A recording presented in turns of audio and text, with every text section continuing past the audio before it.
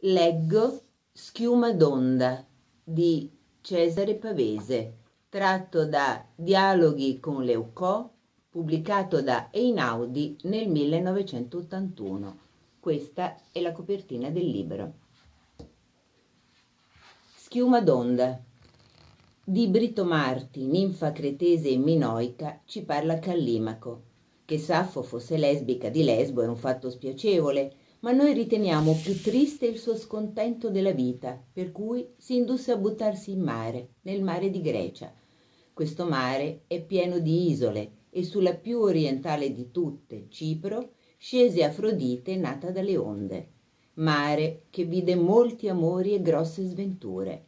È necessario fare i nomi di Ariadne, Fedra, Andromaca, Elle, Scilla, Io, Cassandra, Medea? Tutte lo traversarono e più d'una ci rimase. Vien da pensare che sia tutto intriso di sperma e di lacrime. Parlano Saffo e Brito Marti. È monotono qui, Brito Marti, il mare è monotono. Tu che sei qui da tanto tempo, non ti annoi? Preferivi quando eri mortale, lo so. Diventare un po' d'onda che schiuma non vi basta. Eppure cercate la morte questa morte. Tu perché l'hai cercata? Non sapevo che fosse così.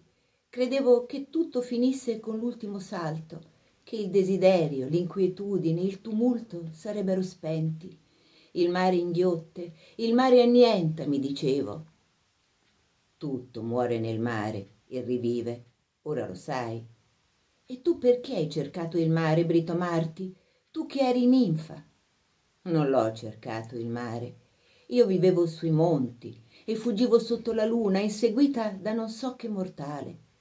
Tu, Saffo, non conosci i nostri boschi altissimi a strapiombo sul mare. Spiccai il salto per salvarmi. E perché poi salvarti? Per sfuggirgli, per essere io, perché dovevo, Saffo. Dovevi. Tanto ti dispiaceva quel mortale. Non so, non l'avevo veduto. Sapevo soltanto che dovevo fuggire. È possibile questo? Lasciare i giorni, la montagna, i prati, lasciare la terra e diventare schiuma d'onda, tutto perché dovevi. Dovevi che cosa? Non ne sentivi desideri? Non eri fatta anche di questo? Non ti capisco, Safo bella. I desideri e l'inquietudine ti han fatta chi sei poi ti lagni che anch'io sia fuggita. Tu non eri mortale e sapevi che a niente si sfugge. Non ho fuggito i desideri, Saffo. Quel che desidero ce l'ho. Prima ero ninfa delle rupi, ora del mare. Siamo fatte di questo. La nostra vita è foglia e tronco, polla d'acqua, schiuma d'onda. Noi giochiamo a sfiorare le cose, non fuggiamo, mutiamo questo è il nostro desiderio, il destino. Nostro solo terrore è che un uomo ci possegga, ci fermi. Allora sì che sarebbe la fine. Tu conosci Calipso? Ne ho sentito. Calipso si è fatta fermare da un uomo e più nulla le è valso. Per anni e per anni non uscì più dalla sua grotta. Vennero tutte, Leucotea, Callianira, Cimodoce, Oritia, venne Anfitrite e le parlarono, la presero con sé, la salvarono, ma ci vollero anni e che quell'uomo se ne andasse. Io capisco, Calipso, ma non capisco che vi abbia ascoltate. Che cos'è un desiderio che cede? Oh Saffo, onda mortale, non saprai mai cos'è sorridere. Lo sapevo da viva e ho cercato la morte. Oh Saffo, non è questo il sorridere. Sorridere è vivere come un'onda o una foglia, accettando la sorte, è morire a una forma e rinascere ad un'altra, e accettare, accettare se stesse e il destino. Tu l'hai dunque accettato. Sono fuggita, Saffo. Per noi altre è più facile. Anch'io, Brito Marti, nei giorni sapevo fuggire e la mia fuga era guardare nelle cose nel tumulto e farne un canto, una parola, ma il destino è ben altro. Saffo, perché? Il destino è gioia e quando tu cantavi il canto era felice. Non sono mai stata felice, Britomarti. Il desiderio non è canto. Il desiderio schiante, brucia, come il serpe, come il vento. Non hai mai conosciuto donne mortali che vivessero in pace nel desiderio e nel tumulto? Nessuna. Forse sì. Non le mortali come Saffo. Tu eri ancora la ninfa dei monti. Io non ero ancora nata. Una donna varcò questo mare, una mortale, che visse sempre nel tumulto, forse in pace una donna che uccise, distrusse, accecò come una dea, sempre uguale a se stessa. Forse non ebbe da sorridere neppure. Era bella, non sciocca, e intorno a lei tutto moriva e combatteva.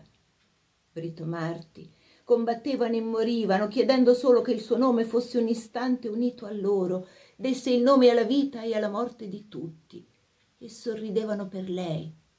Tu la conosci, Elena Tindaride, la figlia di Leda. E costei fu felice.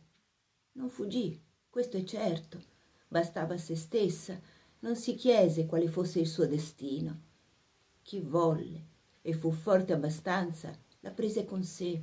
Seguì a dieci anni un eroe, la ritolsero a lui, la sposarono ad un altro, anche questo la perse. Se la contesero oltre mare in molti, la riprese il secondo, visse in pace con lui, fu sepolta e nell'Ade conobbe altri ancora.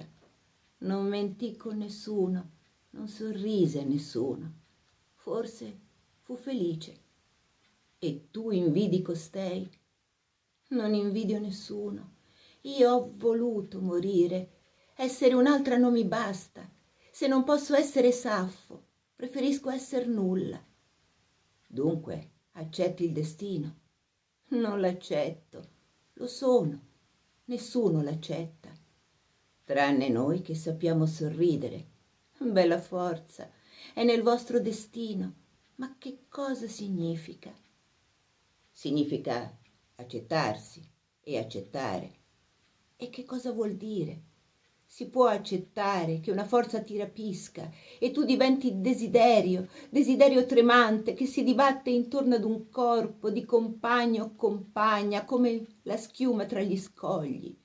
E questo corpo ti respinge, ti infrange, tu ricadi e vorresti abbracciare lo scoglio, accettarlo.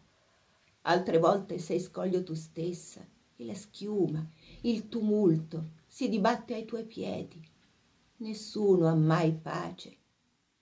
Si può accettare tutto questo. Bisogna accettarlo. Hai voluto sfuggire e sei schiuma anche tu. Ma tu lo senti questo tedio, quest'inquietudine marina, qui tutto macera e ribolle senza posa. Anche ciò che è morto si dibatte inquieto. Dovresti conoscerlo il mare. Anche tu sei da un'isola Oh, Brito Marti, fin da bimba mi atterriva questa vita incessante e monotona e triste. Non c'è parola che ne dica il tedio. Un tempo nella mia isola vedevo arrivare e partire i mortali. C'erano donne come te, donne d'amore, Saffo. Non mi parvero mai tristi né stanche. Lo so, lo so, Brito Marti, lo so, ma le hai seguite sul loro cammino. Ci fu quella che in terra straniera si impiccò con le sue mani alle travi di casa e quella che si svegliò la mattina sopra uno scoglio abbandonata e poi le altre tante altre da tutte le isole da tutte le terre che discesero in mare chi fu serva chi straziata chi uccise i suoi figli chi stentò giorno e notte chi non toccò più terraferma e divenne una cosa una belva del mare ma la Tindaride, tu hai detto, uscì illesa, seminando l'incendio e la strage, non sorrise a nessuno, non mentì con nessuno. Ah, fu degna del mare. Rito Marti, ricorda chi nacque qua giù. Chi vuoi dire? C'è ancora un'isola che non hai visto. Quando sorge il mattino è la prima nel sole. Oh Saffo, là balzò dalla schiuma quella che non ha nome l'inquieta angosciosa che sorride da sola. Ma lei non soffre è una gran dea. E tutto quello che si macera e dibatte nel mare è sua sostanza e suo respiro. Tu l'hai veduta britomarti oh saffo non dirlo sono soltanto una piccola ninfa tu vedi dunque davanti a lei tutte fuggiamo non parlarne bambina. Il testo è terminato spero vi sia piaciuto